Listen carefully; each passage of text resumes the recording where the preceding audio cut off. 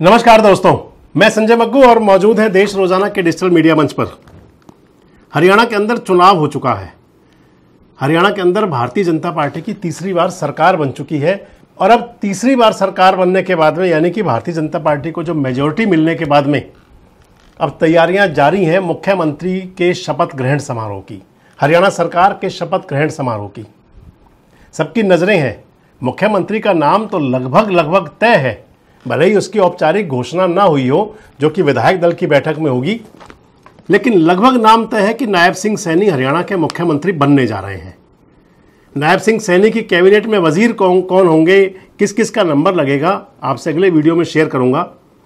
लेकिन इस वीडियो में मैं आपके साथ चर्चा में हूँ, हरियाणा की वो पार्टी जो वेटिंग रह गई, सत्ता की इंतज़ार में, सत्ता की उम्मीद में रह गई। बड़े दावे थे जिनके कि हरियाणा की सत्ता में वो लौट रहे हैं। जो दावे, जो अरमान धरे के धरे रह गए। बात कर रहा हूँ मैं आपसे कांग्रेस की। मैंने आपको बताया, पहले भी आपको अपने वीडियो में शेयर किया था आपके साथ कि इस समय भारतीय जनता पार्टी में जोश है, उत्साह है, उमंग है, उत्सव है, वो सब कुछ है। और कांग्रेस के अंदर इस समय हाहाकार है। कांग्रेस के समय, इस समय भले ही बात वो चिंतन की, मंथन की तमाम कर रहे हों लेकिन एक लाइन में आपको बता दूँ तो ईवीएम के पीछे छुपे हुए चेहरे ढूँढने की कोशिश भी है। कि जो कह रहे हैं कि ईवीएम ने हराया, वो अलग बातें हैं, हर पार्टी कहा करती है। इस समय आज कांग्रेस के जो प्रवक्ता हैं, कांग्रेस के बड़े नेता हैं, उन्होंने कहा भी है कि हम 20 मशीन काउंटिंग सेंटर्स की, यानी कि 20 विधानसभा क्षेत्रों की दोबारा गिनती की मांग कर रहे हैं। लीगल इश्यूज़ हैं, अगर कुछ होगा तो कोर्ट में जाएँगे, वहाँ जैसा होगा, वो सामने आ जाएगा। मैंने आपसे कहा कि कांग्रेस में हाहाकार है। उस हाहाकार के पीछे मकसद ये है, उस हाहाकार के पीछे कारण ये है, क्योंकि जब भी कभी लड़ाई होती हैं तो वो अभाव में होती हैं। जब भी कभी बंटवारा होगा, अभाव में होगा हमेशा। जब भी कभी फूट की बात आएगी तो अभाव में होगी। हरियाणा के अंदर कांग्रेस पार्टी के चुनाव हारने के बाद तमाम वजह ढूंढी जा रही हैं। कल राहुल गांधी ने के सी वेणुगोपाल, अशोक गहलोत और इनके साथ अजय माकन, इन तमाम नेताओं के साथ बैठ करके, हालाँकि हरियाणा के नेता उसमें नहीं थे। कुछ लोग कह रहे हैं कि भूपेंद्र सिंह हुड्डा और उदय भान को बुलाया गया था। भूपेंद्र सिंह हुड्डा और चौधरी उदय भान उस बैठक में नहीं गए तो कुछ लोग ये कह रहे हैं कि उनको बुलाया भी नहीं गया था। हालाँकि मैं भी ये समझता हूँ कि अगर उनको बुलाया गया होता तो शायद फिर भूपेंद्र सिंह हुड्डा और चौधरी उदय भान इतनी नाफरमानी नहीं कर सकते थे कि वो राहुल गांधी की बैठक में ना जाए। खैर, अब चर्चाएँ चल पड़ रही हैं। कांग्रेस के अंदर क्योंकि विपक्ष का नेता बनना है, उस पर चर्चाएँ हैं कि विपक्ष का नेता कौन होगा। हरियाणा प्रदेश कांग्रेस के अध्यक्ष चौधरी उदय भान का क्या होगा? क्योंकि मतगणना होने के यानी कि आठ तारीख को जो मतगणना हुई, और आज ग्यारह तारीख हो चुकी है। अभी तक कांग्रेस के किसी भी नेता ने चाहे वो भूपेंद्र सिंह हुड्डा हैं और चाहे वो चौधरी उदय भान हैं। किसी ने यह नहीं कहा कि नैतिक ज़िम्मेदारी ले रहे हैं हम इस हार की। किसी भी नेता ने नहीं कहा।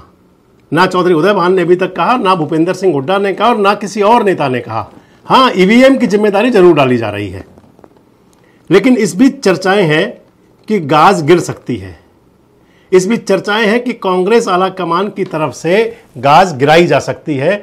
तो गाज किस पर गिरेगी? चर्चाएँ इस बात की हैं।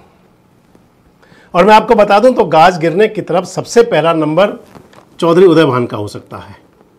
हरियाणा प्रदेश कांग्रेस कमेटी के अध्यक्ष चौधरी उदय भान। अभी हाल ही में जो होडल से विधानसभा का चुनाव हार गए।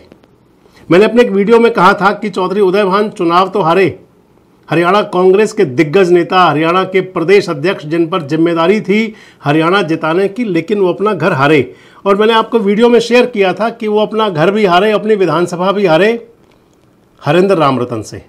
हरेंद्र राम रतन को आज मुझे मिले थे हरेंद्र सिंह। हरेंद्र राम रतन के लिए ये कहा जा रहा था, लोग कहते थे कि हरेंद्र राम रतन तो राजनीति के नौ सिखिया हैं। हरेंद्र राम रतन के लिए कहा जाता था। हालाँकि अगर मैं ये कहूँ कि हरेंद्र में राजनीति जो है तो उनकी रगों में है। मैं इसलिए कह रहा हूँ कि उनकी रगों में राजनीति है, क्योंकि एक तो हरिंदर के पिताजी चौधरी रामरतन विधायक रहे उन्नीस सौ इक्यानवे में, और चौधरी रामरतन ने भी चौधरी उदय भान को ही हराया था उन्नीस सौ इक्यानवे के चुनाव में। पहला चुनाव हारे थे चौधरी उदय भान।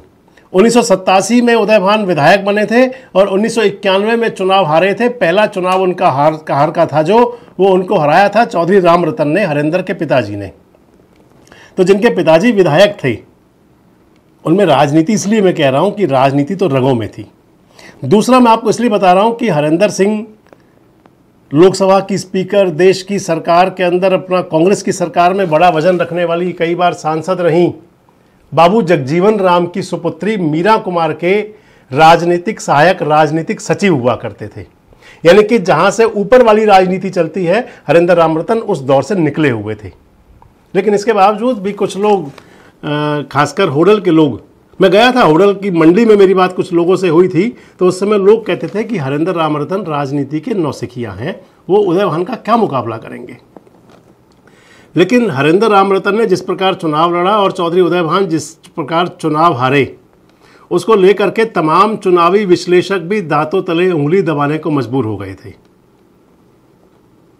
उस चुनाव को देख करके, क्योंकि वो, जिसे कहा जाता हुआ कि हारी हुई बाजी पलटना तो आप कह सकते हैं हरेंद्र ने हारी हुई बाजी पलटी। खैर, बात चौधरी उदय भान की हो रही है। अब कांग्रेस के अंदर एक बात चल रही है कि चौधरी उदय भान ने विधानसभा का चुनाव क्यों लड़ा? क्योंकि चौधरी उदय भान हरियाणा प्रदेश कांग्रेस कमेटी के अध्यक्ष थे तो उनकी ज़िम्मेदारी थी पूरे हरियाणा के अंदर घूमना। तर्क दिया जा रहा है उसके पीछे कि भारतीय जनता पार्टी के प्रदेश अध्यक्ष मोहनलाल बडौली, जो राई के विधायक थे, निवर्तमान विधायक 2019 में विधायक चुने गए थे। कहा जा रहा था कि मोहनलाल बडौली ने विधानसभा का चुनाव नहीं लड़ा, खुद कहा कि पार्टी को मज़बूत करूँगा तो फिर ये कांग्रेस के लोग कह रहे हैं। तो फिर चौधरी उदय भान ने चुनाव क्यों लड़ा? और चौधरी उदय भान चुनाव लड़के खुद होडल विधानसभा में सिमट कर रह गए। हालाँकि मैंने देखा था, चौधरी उदय भान चंडीगढ़ के अंदर जो कांग्रेस का चुनावी घोषणा पत्र मैनिफेस्टो आया था, उसमें भी थे। और भी चौधरी भूपेंद्र सिंह हुड्डा के साथ तो हमेशा साय की तरह साथ दिखते थे, हमेशा ही। लेकिन ये अब चर्चाएँ हैं। ये बात चल रही है कि आखिर चौधरी उदय भान को विधानसभा का चुनाव नहीं लड़ना चाहिए था और क्यों नहीं लड़ना चाहिए था? वो हरियाणा प्रदेश कांग्रेस कमेटी के अध्यक्ष थे तो उनको पूरे हरियाणा में जाना चाहिए था। चौधरी उदय भान की क्या मजबूरी रही होंगी? और वैसे अगर आज कांग्रेस के लोग ये तर्क दे रहे हैं, अगर कांग्रेस के बड़े नेता आज ये चर्चा कर रहे हैं तो फिर वो उस समय कहाँ सोए थे, जब पहली ही सूची में, जिसके अंदर सारे विधायकों के नाम थे और एकमात्र नाम था चौधरी उदय भान का, जो विधायक नहीं थे। जो उस समय विधायक नहीं थे, चौधरी उदय भान का नाम था। तो बड़ी बात आ जाती है कि आज ये बात कहने वाले कांग्रेस के नेता उस समय कहाँ सोए हुए थे? और वो लोग कह रहे हैं जो कांग्रेस के बड़े नेता हैं। मैं एक वेबसाइट पर पढ़ रहा था कि कांग्रेस की जो बैठक जो कल हुई, उस बैठक के अंदर जो सूत्र बता रहे हैं, आंतरिक सूत्र बताते हैं कि इस बात पर चर्चा हुई कि उदय भान जी ने चुनाव क्यों लड़ा। अब बात आ जाती है आगे क्या। मैं आपसे वीडियो के शुरू में कह रहा था कि हमेशा हुआ करता है। जब कोई राजनीतिक दल चुनाव हारता है तो उसके अध्यक्ष, उसके कोई अगर मुख्यमंत्री होते हैं या मुख्यमंत्री के दावेदार होते हैं या विपक्ष के नेता होते हैं, वो कहा करते हैं कि इस हार की नैतिक ज़िम्मेदारी लेते हुए मैं अपना पद छोड़ रहा हूँ। अभी तक कांग्रेस में किसी भी नेता ने ये नहीं कहा कि इस हार की नैतिक ज़िम्मेदारी लेते हुए हम पद छोड़ रहे हैं। ये ज़रूर है कि शमशेर गोगी कह रहे हैं कि हुड्डा साहब ने हरवा दिया, परी कह रहे हैं हुड्डा साहब ने हरवा दिया, कुमारी सैलजा दबी जवान में कह रही हैं कि जिन पर ड्यूटी, ज़िम्मेदारी थी वो बताएँ। लेकिन जिन पर ज़िम्मेदारी थी वो भी कुछ नहीं बता रहे। और इस बीच में चर्चा चल पड़ी है कि क्या चौधरी उदय भान को हरियाणा प्रदेश कांग्रेस कमेटी के अध्यक्ष पद से हटाया जाएगा। ये चर्चा बहुत जोरों से चल पड़ी है।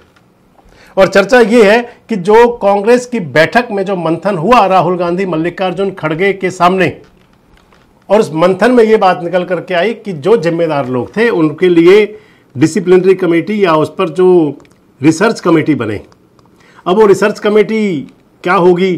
क्या वो सिर्फ़ पर्दा डालने के लिए होगी या कोई कार्रवाई होगी? लेकिन ये बात ज़रूर चल पड़ी कि चौधरी उदय भान क्योंकि उस समय कांग्रेस के प्रदेश अध्यक्ष थे, उनकी प्रदेश अध्यक्षी में, उनकी रहनुमाई में कांग्रेस चुनाव हारी और इसके साथ साथ वो खुद भी चुनाव हारे।